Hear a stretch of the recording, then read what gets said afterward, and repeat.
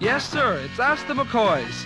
And I'm Rick Zehringer, here to speak for the four of us. We help keep all hearts beating in good health when we support the work of Our Heart Association. How about it? Won't you please give generously to the Heart Fund this month? Give so more will live. Thank you.